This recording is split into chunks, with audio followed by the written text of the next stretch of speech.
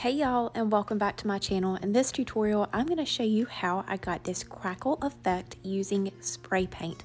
We're going to start off with a 32 ounce plump from the Steel Magnolia.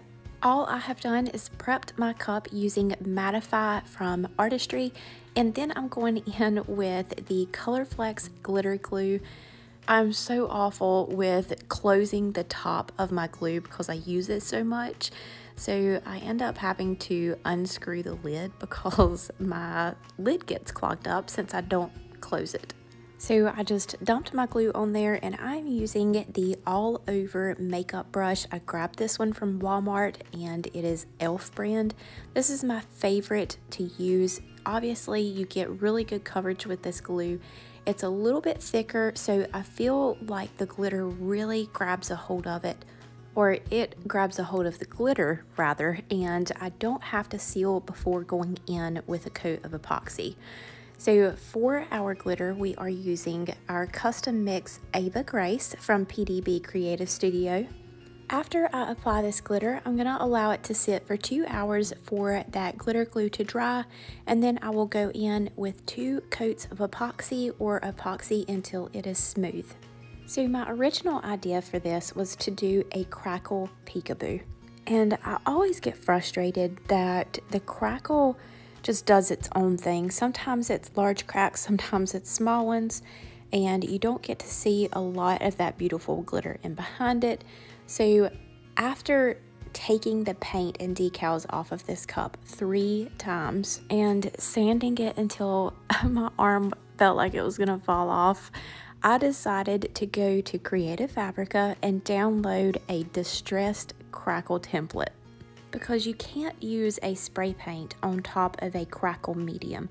So what is better than actually having a template and knowing that your crackle is going to be perfect every single time and you can use spray paint.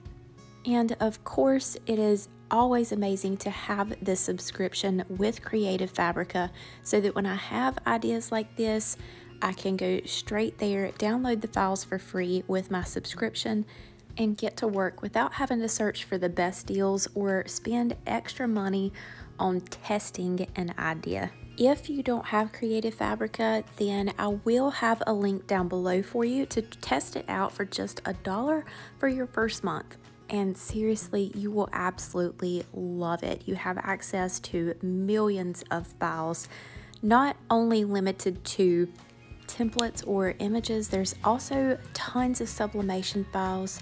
You can also get Lightroom presets to help with your photography, fonts, and tons more. So once I imported this file into my design space, I resized it to fit my tumbler. That will vary depending on the size of the tumbler, the brand, and what size glitter and how many layers of epoxy you have on there. So just make sure that you measure your tumbler before resizing it. I just used a random temporary vinyl to cut out my stencil. I have weeded it, which was fairly easy since a lot of those lines are connected. It just took me a couple of minutes and I'm going to apply my transfer tape and just make sure that everything is pressed down really well and then we're going to apply this using the hinge method to make sure that we get it straight all around the tumbler.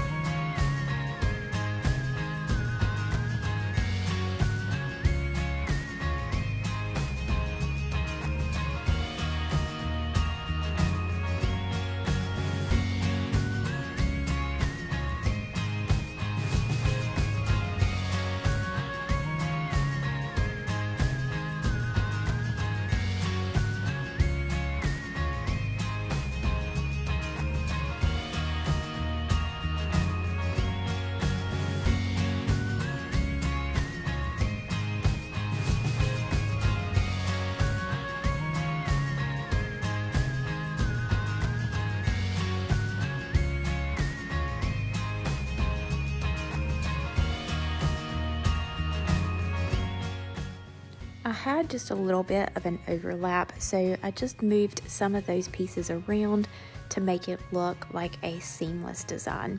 As I have already mentioned, this cup is just, it's sanded more than any tumbler that I think I have ever worked with. So if your tumbler is sanded before you spray paint, make sure that you're going in with a high grit, which means your sandpaper is going to have a finer and smoother texture to it and really sand over any of those deep sand marks of your tumbler because you don't want any of those deep sand marks or grooves to show through once you spray paint the tumbler.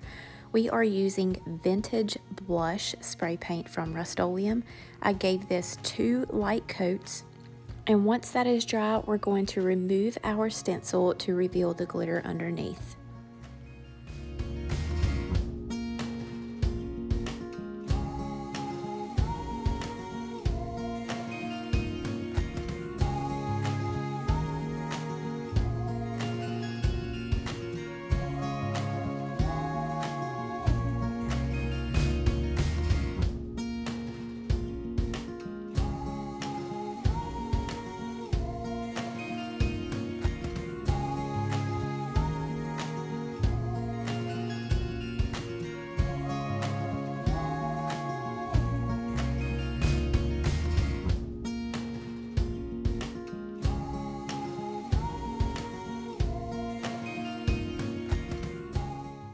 Of course, I'm not going to show removing all of these stencils, but once you do have it all removed, then go in with a thin coat of epoxy. I used Artistry's one-to-one -one ratio fast set so that in about two hours, I'm able to add on my decals. These florals are from Gracefully Created. It is a, another sheet that we have collaborated on. They will be available at gracefullycreatedccd.com on September 12th of 2022. So if you do want some of these florals, then definitely mark your calendar. And of course, I will notify you when they are available in the Brittany Barnes Boutique Facebook group. These are not only perfect for fall, but there are some very, very light blue or dusty blue as well as the blush pink and light grays that would really tie them in to Christmas or winter designs as well. Now, I did make a small mistake, and I believe it was just I was so frustrated with this tumbler. And then once I finally got the crackle that I wanted, I was excited and wanted to put epoxy over it. But after I completed the stencil removal or finished removing my stencils, I should have added my decal on and then applied a layer of epoxy. You want a layer of epoxy in between your decal and your florals if you plan to overlap them. About 90% of all of the sheets that Gracefully Created and I have worked together on are pre-cut. So all you have to do is remove the flowers or whatever the image may be and place it on your tumbler.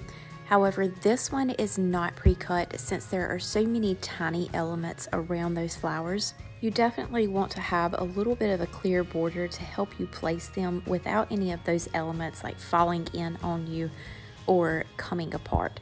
If you have worked with printable vinyl before, you know exactly what I'm talking about when working with these small floral elements. And again, just make sure that you do put a layer of epoxy in between your vinyl and your floral decals. As you can see, I was trying to rub my nail over the vinyl and I did eventually end up cutting the vinyl out from underneath the flowers, but that can be really tedious. It can cause you to damage your vinyls and you may not have, you know, the correct ones to replace it. So if you plan on putting your florals on top of your vinyl, just put a layer of epoxy in between it. There are enough florals on this sheet to do two full tumblers in this design. I do have a larger floral cluster like this one right here and then there are two smaller ones that would be fit for a 16 ounce or a 24 ounce tumbler. So when I am designing these sheets for Gracefully Created, I keep in mind that we use lots of different size tumblers and I actually lay them out, have her send me a sample so that I can place them on the tumblers prior to launching them and make sure that they are pretty universal for at least the most popular sizes of tumblers. Now when applying these decals, as you can see, I will remove it from that backing and then replace it. So in a way, I'm using the hinge method to apply them to the tumbler, but essentially I am avoiding putting my fingers on the clear part of the decal. We have oils on our hands and also we pick up glitter and paint and everything else while we're working in our craft room and I don't want to trap any of that behind the clear portion of my decal. And also make sure that you have the edges pressed down really well as long as your edges are pressed down completely and there are no little air bubbles showing once you apply a layer of epoxy on this they will be completely seamless and look as if they were printed onto the cup.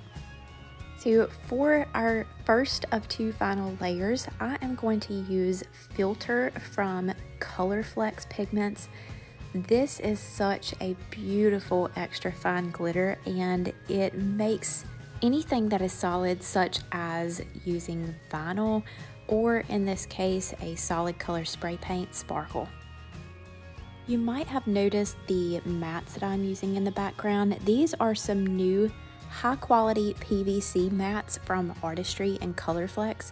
These mats are incredible. Epoxy will peel right off of them and glitter just falls right off. They are incredible. They have two different sizes, the big one that I'm using and also a 12 by 12, which is perfect for applying glitter. So once I finished adding this sparkly layer of epoxy, I'm going to pop that on my turner. I did use a fast set once again, so I'm gonna give this 30 minutes to cure and then go in with my final layer of epoxy. I have used this Be Real Not Perfect on another tumbler in the past, but I just felt like it fit this tumbler so perfectly because I had so many issues with it, but as I always say, push through those issues and complete that tumbler. You'll feel so much better about beating all of the issues and having a beautiful tumbler in the end. This decal image will be available pinned at the top of the group in Brittany Barnes Boutique on Facebook. However, I am going to post a little video on how I made it using a free app in both our Facebook group and on Instagram. Give this video a thumbs up if you enjoyed it and don't forget to subscribe to our channel. That helps us out a ton. All of the materials that I have used are listed in the description below with some discount codes. That is all for today. Thank you all so much and we'll see you next time.